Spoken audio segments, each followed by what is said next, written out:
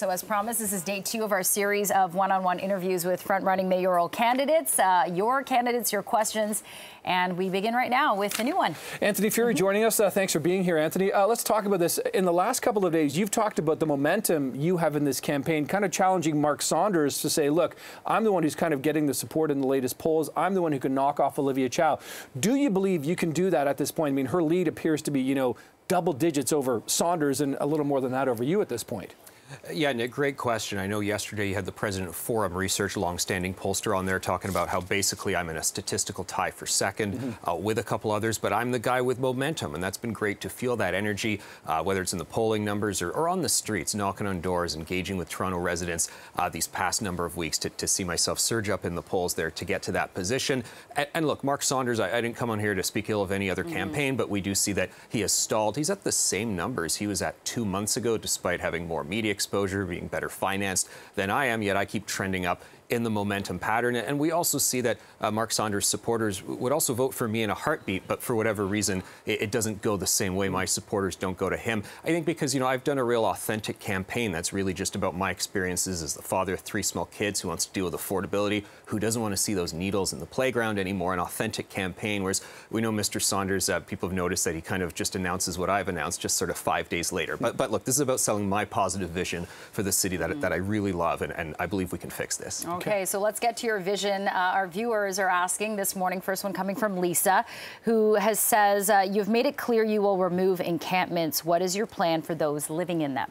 Yeah, so first of all, it's a family first policy. I'm hearing from people, yes, downtown, but also Scarborough, Etobicoke, North York, who see encampments moving out to the suburbs. They also see needles appearing in their parks. You know, I used to see the needles in, in Moss Park, near where we live. We were raising our kids. Now we're over in the East End, and, and we're actually finding them there as well. So we have to deal with the drug crisis that is playing out in these injection sites, that's playing out in the parks, and it's worsening. So it's a family first policy, but I want to work uh, with public health, with the province, uh, the federal government, who has a responsibility to deal with the fact 40% of people in the shelter system are recent refugees, something I'm going to work with Mr. Trudeau with. Hmm. So we're, we're a compassionate city. We want to deal uh, with people in a supportive, helpful way, but we got to put families first. I can't tell uh, four-year-old, five-year-old kids that they have to wait, you know, one year, two year, three more summers until they can have a, a hmm. full, proper access uh, to public spaces again. Speaking of compassion, Anthony, another viewer is writing and saying, will you cut services dealing with environment, seniors, TTC, or public health?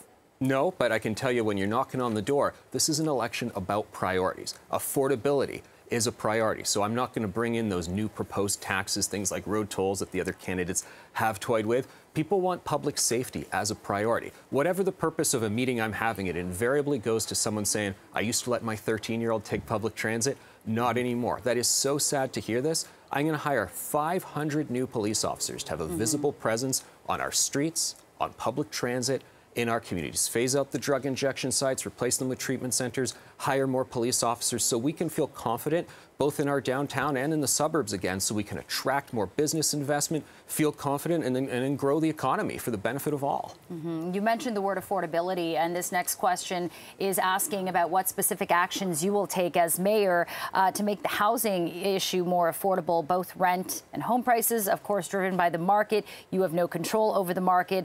Uh, and uh, the question goes on to say building low income housing does nothing for those close to or in the middle income bracket who are just looking for decent housing in a decent neighborhood. Yeah, and the one direct tool the mayor's office has to lower the price of homes is to axe the municipal land transfer tax for first-time homebuyers, which is what I'm going to do. You can immediately drop $25,000, $30,000 off the price of a home. Uh, when someone buys their first home, it's a celebratory thing. We mm -hmm. shouldn't be looking at it as a cash grab. You know, they're, they're popping the cork on the champagne, and then government goes, okay, well, they're celebrating. I'm going to go in and steal 30K from them. No, no, that's not going to be it anymore. We got to manage the budget responsibly so we can focus on the priorities that families are saying at the door. Okay, interesting. Uh, this next question is fairly blunt. You can understand where the viewer is coming from here. This, the question is this. The city has a fiscal shortfall.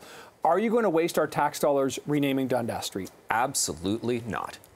Pretty simple answer Okay, there. next one. Let's get to it. Uh, how do you plan to tackle gridlock downtown in downtown Toronto? Uh, major arteries are now down to one lane, Danforth and Bloor, and GO Transit is not always an option. Uh, the gridlock also impacts ambulance, first responders, delivery service to the core. Uh, we need to figure out what our priority is. So, is it bikes, CaféTO, or first responders responding to emergencies? Yeah, well, it's first responders, absolutely, because every second that ambulances are delayed, and we've seen those videos, Instagram videos of ambulances trying to get by on Yonge Street, Mm-hmm. uh, but they can't because there's no shoulder anymore because the shoulder's been taken up by these very rigid bike lanes with the concrete blocks. I'm the candidate who said right out of the gate, no more bike lanes on major roads. We're also going to not do the expansion of those red painted lanes. They have them in Scarborough, but they want to take them to North York and Etobicoke to get rid of even more traffic lanes. People on Kingston Road and Morningside, they tell me what it's like to have those headaches of, of sitting there in traffic, knowing that there's an entire lane they could be in, but they're not allowed. And, and there's hardly any bikes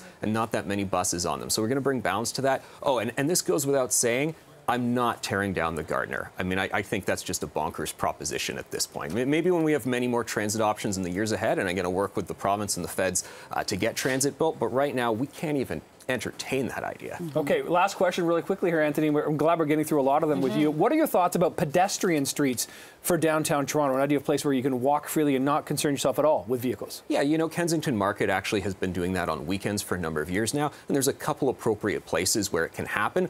But uh, I, I, wish this city was designed like like parts of Paris and so mm-hmm. forth. It's not. So I think by and large, I can't do anything that's going to further the war on the car, that's going to worsen commutes and congestion, and also harm small businesses because that's part of what's been going on with this hyper aggressive bike lane culture. Small businesses can't do deliveries, customers can't access wheel-trans, persons with mobility issues. So I, I think we just got to bring common sense back to these issues. We're, we're reasonable people. We want a beautiful, vibrant city, uh, but, but we can't sort of go in a different direction. You know, Nick, I've said now is a time for choosing. Do we want to look more like Seattle, San Francisco, downtown Vancouver, some of those awful scenes, or do we want to say we can fix this? We can have a more beautiful city for our families, for all Toronto families, and, and that's what I'm fighting for. All right, mayoral candidate Anthony Furey, really appreciate your time and your answers to our viewer questions this morning. Thanks for the opportunity. Thanks for being Thank here. you.